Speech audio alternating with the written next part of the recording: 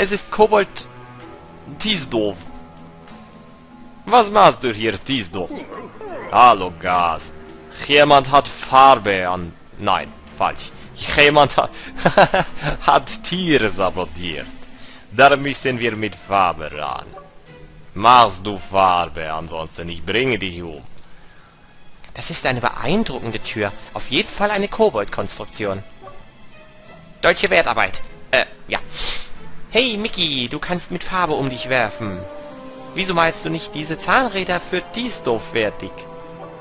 Diesdorf wäre dir dafür sehr äh, dankbar. Toll, ich arbeite seit langem am mittleren Zahnrad, also mach nicht kaputt, ansonsten ich mach dich kaputt.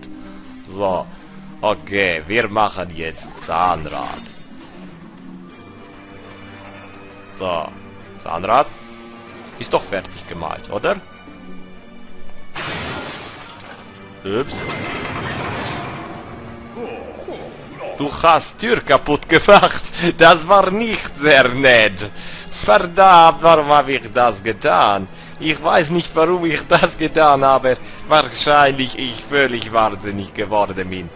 Oh nein, hast du das gesehen? Nein, Gas redet nicht so. Was soll denn das? Ich wollte es instand setzen, nicht zerstören. Ich dachte, deine phantomatischen Tropfen wären nur Show, aber jetzt bin ich mir da nicht so sicher. Geh einfach weiter. Wir treffen uns später wieder. Ich habe alle Hallen, alle, alle, alle, alle, alle, alle, oh Gott, was rede ich jetzt hier mit Allah? Ich habe den Glauben gewechselt. ja. Ich habe alle Hand zu reparieren. Scheiße.